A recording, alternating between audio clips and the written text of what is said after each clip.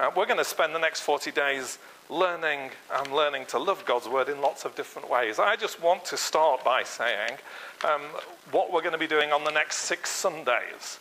In your small groups, you're going to be spending time looking at how we can understand God's word devotionally and how we can share together and understand it in our own homes and sharing in small groups, understanding how to um, interpret God's word. On our Sundays, we're going to do something a little bit different and we're going to look at some questions about the Bible.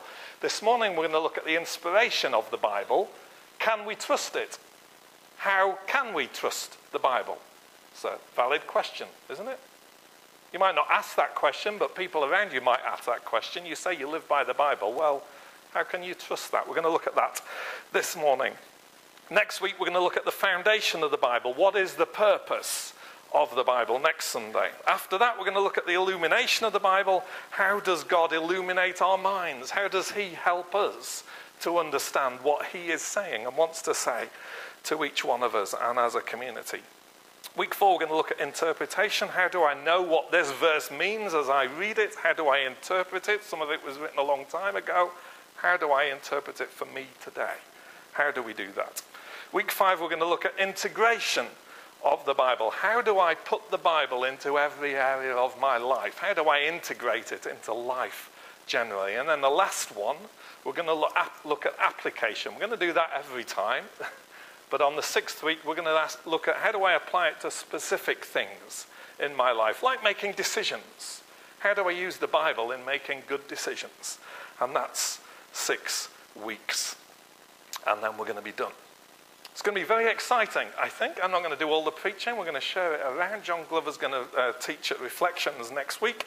Uh, Jez is going to use it in the, the all age service next week. Uh, our young people and our children are also using this series, and Fiona and John have adapted some of the materials so that they can be all part of it. I think there's some great power in, as a church, being unified together and doing something together. I think there's great power in that, so God can speak to all of us and we can share what he's saying to each one of us. So we're going to do that from the youngest to the oldest. Can I encourage you to be part of a small group as well? Uh, speak to me, speak to Joe Pamphilon. You can still sign up. There are some new small groups as well as existing small groups. We're all going to be looking at God's Word and this series over the next 40 days. Jesus ended the Sermon on the Mount, one of the longest bits of his teaching, with a story. He told a story about two men who built houses on two different foundations one on rock, one on sand. I'm sure you know the story uh, very well.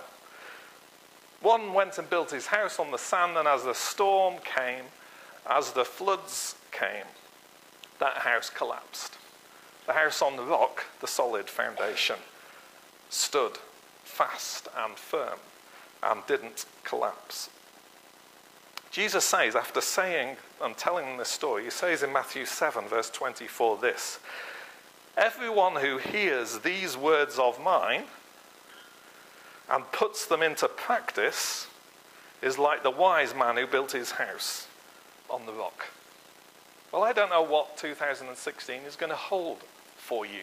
Maybe it's already started in a difficult way for some.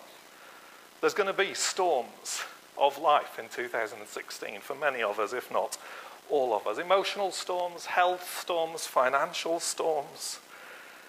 If you're built on a solid rock, if you've got a firm foundation, we're going to be more easily and more readily prepared to withstand those storms so that our life doesn't crumble. We can build our lives on the opinion of other people. We can build our lives on popular opinion. We can build our lives on what our culture tells us we should be doing and living. But we need to build our lives on unchanging truth that is a solid foundation. The Word of God needs to be at the foundation of our life. We might hear it on a Sunday. We might read it every day we might get in our small groups together. Doing all that together will give us a firm foundation for our life. And it's great that over these next 40 days we're going to be doing that and saying, how can we make the Word of God the foundation for our life? So, Today, we're going to ask this question How can I trust the Bible as a firm foundation? Is it a firm foundation, or are we going to find one day that a sinkhole suddenly appears? They seem to be in the news lately, don't they? A sinkhole suddenly appearing all over the place. Um, or when the storms come, that our foundation collapses. How do we know that the Bible is a firm foundation that we can trust it? Well, we read in 2 Timothy chapter 3 earlier on uh, this scripture. All scripture is God breathed and is useful for teaching, rebuking, correcting, and training in righteousness. We're going to look at the second half of that verse uh, later on in the series, but that first bit, all scripture is God breathed, what does that mean? All scripture is God breathed. I used to think that meant um, that as people wrote down the words, they were in a sort of trance in some way. And that that's what it was saying, that all scripture is God breathed and useful for teaching and rebuking. But if you think about it for a minute, how are you hearing me speaking to you today? You're hearing me speak because my breath is coming up over my vocal cords. And as it comes up over my vocal cords, you hear the words that I'm speaking to you, I hope. So my words are my breath. And that's what this scripture is saying. All scripture is God breathed, it's God's word to us as He breathes and as He speaks. And He's always spoken, even from the beginning of time and the beginning of creation. Creation came about, the Bible tells us, because God spoke and light came about. All scripture is God's breath it is God's word to us. And that's the core of the claim that the Bible says about itself. The Bible isn't just like any other book, it is God speaking to us. Not just a bunch of fables, a bunch of stories, but God's word to us. But that's a bit of a circular argument, isn't it? I can trust God's word because God's word tells us that I can trust it surely we need something a little bit more than that. It seems to be a legitimate, valid question to say, well, surely that's not enough. Surely we need something else. So this morning we're going to have a seven point sermon. I told you I don't like three point sermons, so we've got seven point sermon. These are the seven points we're going to go through uh, one by one uh, this morning. The first one is it's historically accurate. The Bible is historically accurate. It's doctrinally correct, yes. It's morally correct, yes. It's theologically correct, yes. But it's also historically accurate. This verse in Hebrews 6, verse 18 it's impossible for God to lie because God is truth. The only reason the universe works is that God has put it in place and He's put laws in place that actually work. It would be a bit weird if the law of gravity only worked on a Tuesday and a Thursday, wouldn't it? Think about that one. Um, not for too long. Psalm 33, verse 4 says this The word of the Lord is right and true. That's not only true and right about salvation, but it's also true and right about history. How, how, do we know the Bible is historically accurate? Well, what are the questions that a historian would ask of anything he was reading? Well, the first thing he would ask, wouldn't he? Is this an eyewitness account of what's happened? Or is this something that someone's handed on to somebody else who's handed it on to somebody else or somebody else? Is this an eyewitness account? And that's what the Bible is. Good history is eyewitness accounts of the people who were there telling us actually what happened. What was their experience? What did they see? What did they hear? Not legends written and handed down over hundreds of years. So the Bible is good history because it is eyewitness accounts. Moses was there when the Red Sea split, Joshua was there when Jericho fell. The disciples were there. They sat and they ate and they lived with Jesus. They sat in an upper room when the resurrected Jesus came and visited them through locked doors and solid walls. They were there, they saw it, they experienced it, and they tell us what their experience was. Imagine there was a car crash outside Victoria this morning as we left, and we asked, What, what did you see? What happened? We'd probably get, I would imagine, various versions of what they saw. Maybe one person focusing on the car that came careering down the road, another one focusing on maybe a child that ran out in front of a car. People would focus on different things, but they would give us a picture that was accurate in terms of what happened. Because as we see and experience things, we see and experience things differently, but we still give an accurate portrayal of what we saw and what we experienced. Similarly, in the Gospels, where we have Matthew, Mark, Luke, and John giving us what they experienced, what they saw, what their perspective, what their emphasis was on the experiences that they had, they still give us an accurate perspective because they were there. They were eyewitnesses. And that's the first test of historical accuracy. Eyewitnesses tell us what they saw and what they experienced. The second test is well, okay, how accurate then were the accounts as they were passed down? Have you ever heard anyone say, well, okay, maybe the accounts were right when they were first written, but then they've been passed down and down and down and down over hundreds, even thousands of years, and maybe they're not as accurate. Well, someone who says that hasn't really looked into the rules and regulations that those who had to write these things down lived under. For instance, the Old Testament copyists, the scribes who wrote these things down, they had a whole set of rules and regulations to make sure things were accurate. So, for instance, rather than copying words, they copied letters. And as they copied the letter to form the words, to form the paragraphs, to form the pages, they were tested by, at the end of it, counting the number of A's, for instance, in the document. and if there was one out, it was ripped up, thrown in the bin, and they started all over again. It shows that things were copied accurately, counted, and we so we now have copies that are accurate of documents that were handed down over hundreds of years. You may have heard of the Dead Sea Scrolls. That little image at the bottom of this uh, slide is an image from the Dead Sea Scrolls. Documents that were found uh, in the last century before the Dead Sea Scrolls were found, the earliest documents that we had of some of these Old Testament books specifically were thousands of years old. The, old, the Dead Sea Scrolls gave us new copies of things that were much earlier than the ones that we had. And so we could check okay, well, these are much earlier. The ones that were much earlier, the same as the ones that we've got now that were much later. And they found that there was only a 5% difference between documents that were thousands of years in age difference. And that 5% difference were largely things like spelling errors in the names of people or the names of places. All the other stuff was accurate because it was copied again and again and again eh, accurately for us.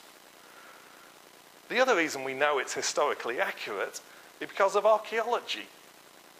The places that we read about in the Bible that Paul stood and preached at, they've been dug up by people. They've been dug up and found that actually these places existed.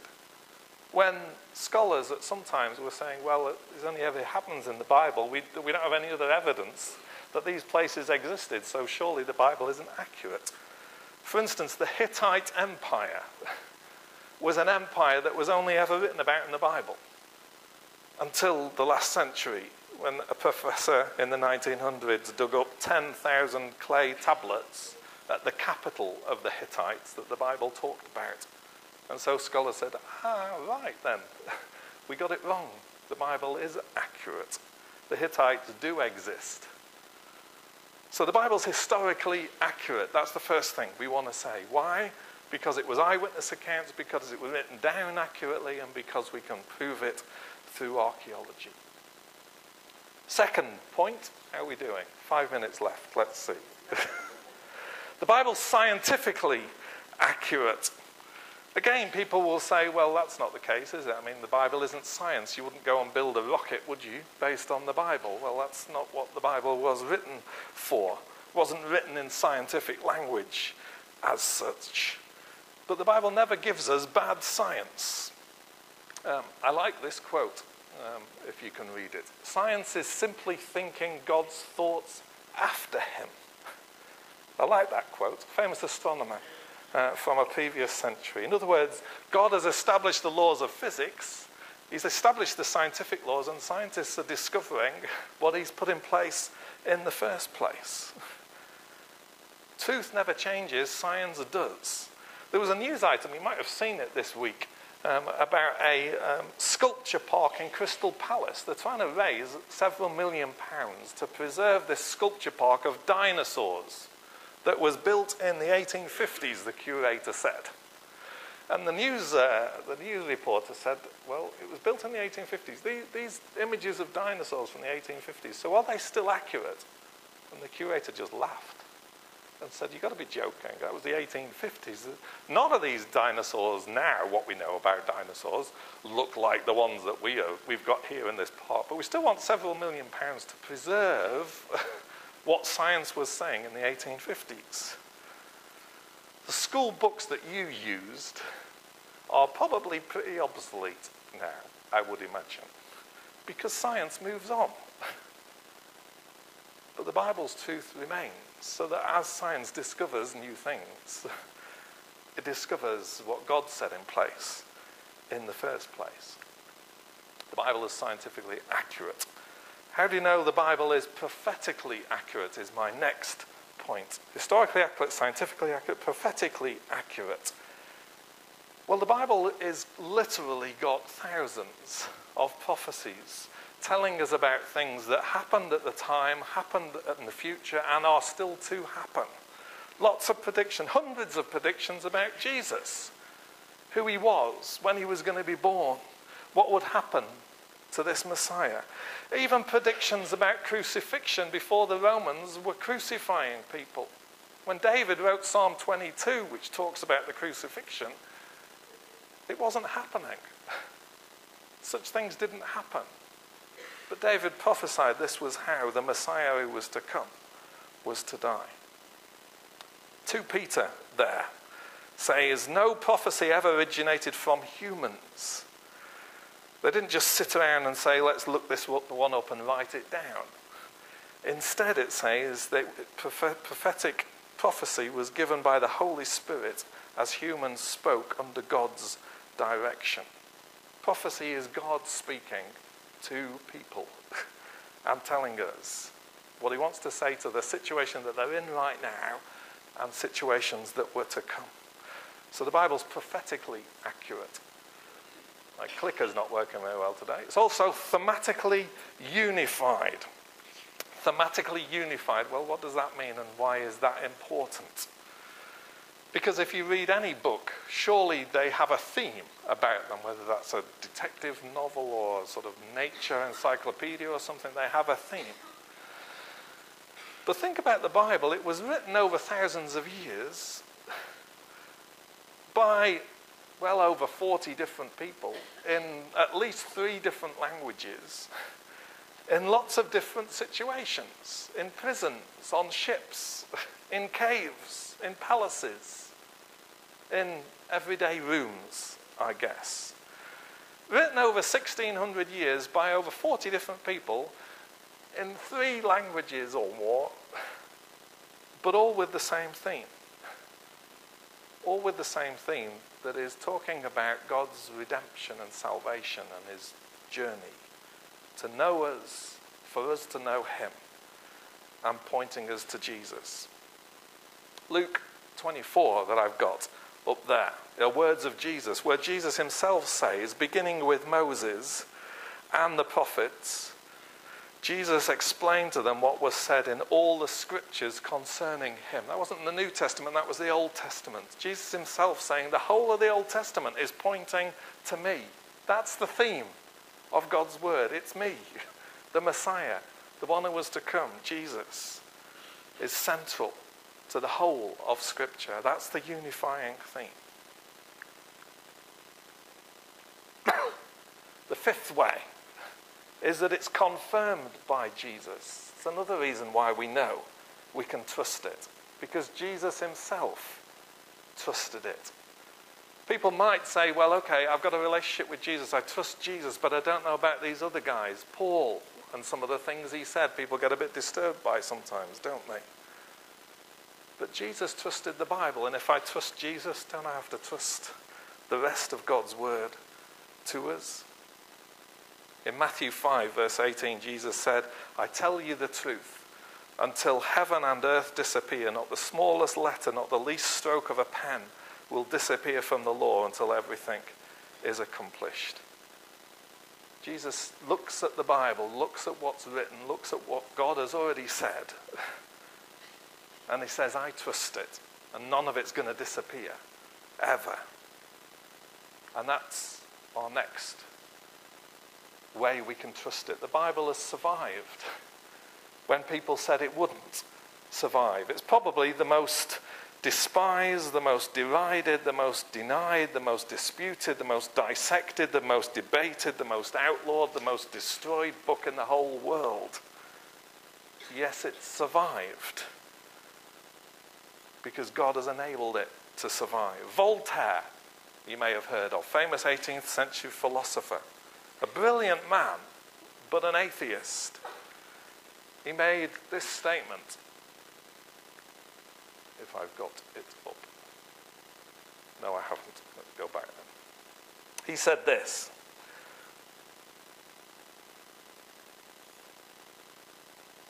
He said, 100 years from today, the Bible will be a forgotten book. In the 18th century, he said, 100 years from today, the Bible will be a forgotten book. You've probably forgotten his quote already, I would imagine. But I think God's got a sense of humor because after he died, for the next hundred years, the French Bible Society used his home to sell Bibles for the next hundred years. the Bible will be a forgotten book in a hundred years.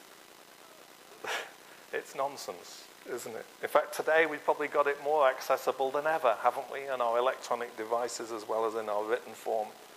Um, he was probably writing at the time when it was pretty inaccessible to many people. And today, for many, it is still inaccessible. In fact, to many, take North Korea, for example. Take a Bible into North Korea, you'll be arrested, imprisoned, probably killed, I would imagine. And many Christians are living under that situation today. And that's why it's great that we can help Ukraine and help them get Bibles that they would love to have. So it survived. The last one, point seven, is perhaps for me the most important. And that's that the Bible is transforming. And that's why I can trust it, because it's transformed me. And as I look around you this morning, I know for many of you, if not all of you, it's transformed you as you've read it as you've come to see Jesus as the center of it, it's changed you and transformed you. It's got transforming power. I'm not a politician because I don't believe laws can change people's hearts. Only God can change people's hearts. He's the one who transforms us and changes. And in John 8, 31 to 32, he says, If you continue in my word, then you're my disciples indeed, and you will know the truth, and the truth will set you free. Staying in his word, abiding in his word, understanding, learning, loving his word, it will transform you. It will continue to transform you. You may be able to pinpoint a day when you can look back on and say, I've changed that day. God changed me because I came to know him and I came to know Jesus. But I know in my life he's continued to transform me. And as we look to him and as we learn to love his word, he'll continue to transform you. But maybe you sat there thinking, well, actually, the Bible isn't the foundation for my life. I can't accept it as the foundation for my life. I want to challenge you this morning. Because I want to say it's not that you can't, it's just that you won't. accept it as a foundation for your life. And my question is if that's not the authority, what is? Maybe you're the authority for your life. Maybe you want to say, Well, I want to keep control. I want to, I want to be the one who makes the decisions in my life. And my question is, How is that going if you're the foundation for your life? How is it going?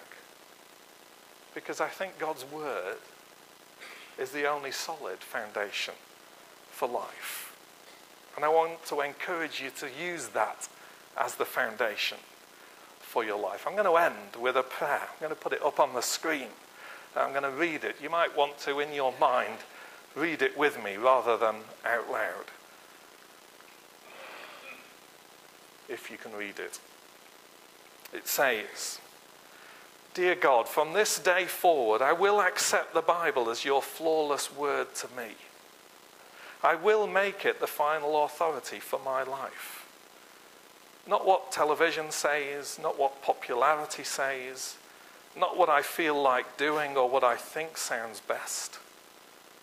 I'm going to make the final word the Bible as the authority for my life, even when I don't understand it, even when it's not popular, even when it's not easy, or even when I don't like it.